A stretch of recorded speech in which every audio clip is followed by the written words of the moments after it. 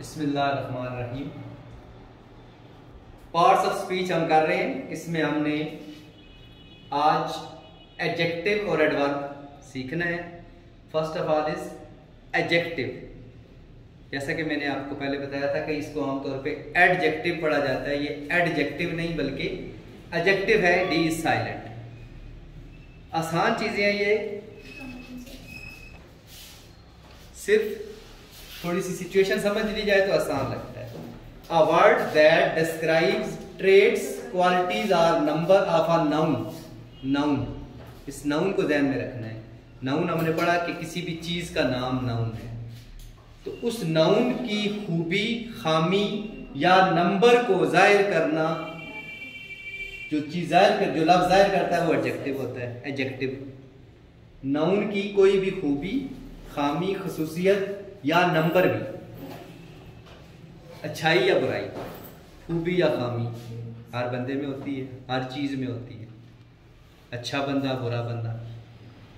अच्छा पेन, ख़राब पेन। साफ़ बोर्ड, गंदा बोर्ड। खूबियाँ और खामी साथ साथ चलती हैं। इसकी एग्जांपल है ब्यूटीफुल गार्डन गार्डन क्या है? नाउन किसी चीज़ का नाम है। उसकी खूबी को बयान किया जा रहा है, खूबसूरत बात। तो जो नाउन की क्वालिटी को बयान करे, वो क्या है? Adjective bad boy boy noun है। बुरा है। बुरा या अच्छा दोनों खूबी में ही आता है। खूबी या खामी हम उन्हें कहते हैं। क्वालिटी में ये दोनों चीज़ें आ जाती हैं। और ये चीज़ शायद आपने पहले ना पढ़ी हो कि नंबर भी इसमें आते हैं।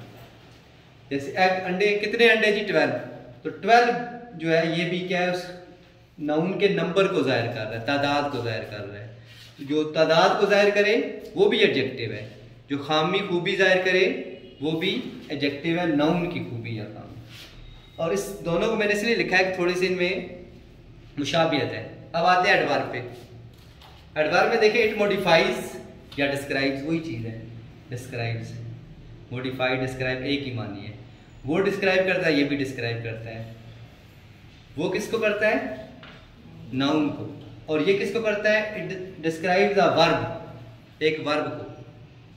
एन एडजेक्टिव इस इस एडजेक्टिव जो भी पढ़ा, इसको भी ये वजात करता है एडवर्ब एनदर एडवर्ब एक दूसरे एडवर्ब की भी एक एडवर्ब वजात करता है और अ होल सेंटेंस या पूरे जुमले की।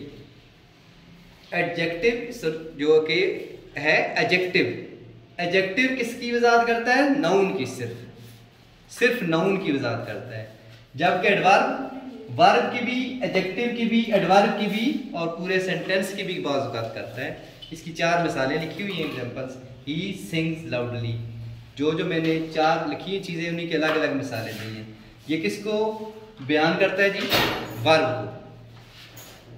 वो ई सिंग्स वो गाता है। गाना वर्ब है काम है। कैसा गाता है जी? लाउडली ऊँचा गाता है। तो ये जो लाउडली है, ये एडवर्ब है इसने इस वर्ब को डिस्क्राइब किया। वेरी टाल टाल ये चीज़ है अभी जो हमने अभी सीखा एडजेक्टिव एडजेक्टिव टाल लंबा होना।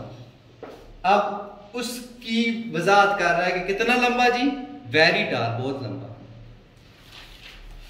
एंडेड टू क्विकली क्विकली जो है ना, अक्सर वूमन एडवार में अक्सर, सारी जगह पे नहीं जाता एल वाई आ जाता है। एल वाई क्विकली क्विक से क्विकली ठीक है?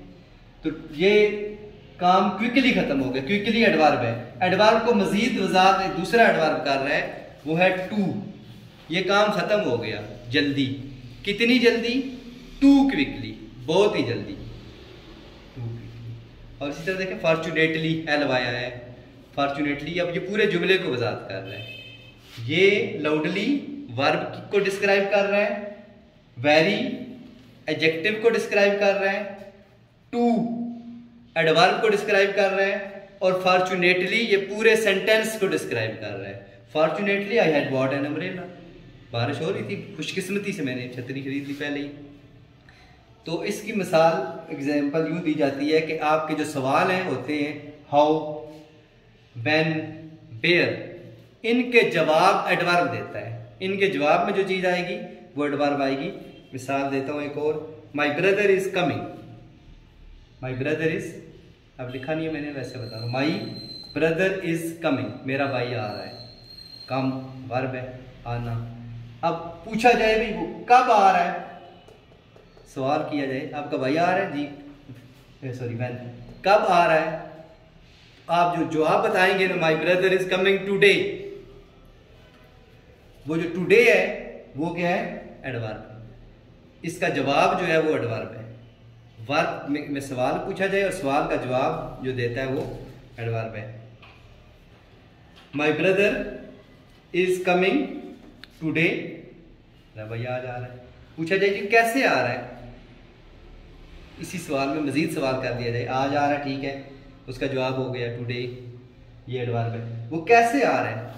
आप कहेंगे my brother is coming today by air by जहाज़ पे आ रहा है।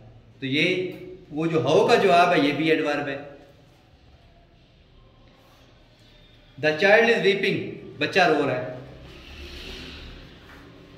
बच्चा रो रहा है। कैसे रो रहा है? कितना रो रहा है? The child is weeping bitterly बुरी तरह रो रहा है। शदीद तरह से रो रहा है। वो शी वाज स्लीपिंग, वो सो रही थी। शी वाज स्लीपिंग, वो सो रही थी। सवाल पूछा जाए, वो कहाँ सो रही थी? शी वाज स्लीपिंग, वो कहाँ? सवाल, कहाँ का जो जवाब आएगा, she was sleeping in the room. She was sleeping up ऊपर वाली मंजिल पे सो रही थी। तो ये जो जवाब हैं, इन सवालों के वर्ब के सवालों में जो जवाब सवाल आते हैं, उसके जो जवाब है, वो भी एडवर्ब तय करता है। तो एडवार बज़ाहिर थोड़ा सा मुश्किल लगता है, लेकिन अगर उसको थोड़ा सा डीपली देखा जाए तो इतना ज़्यादा मुश्किल नहीं है। इसकी एग्ज़ाम देखें ना एग्ज़ाम काइंड्स वो बहुत ज़्यादा लंबी चली जाती है, हम डिटेल में नहीं जाएँगे। हमने सिंपल चीज़ सीख ली कि नाउन को जो वजात करे, वो एडजेक्टिव है। वर्ब एडजेक्टिव एडवर्ब की जो वजात करे, वो एडवर्ब कहलाता है।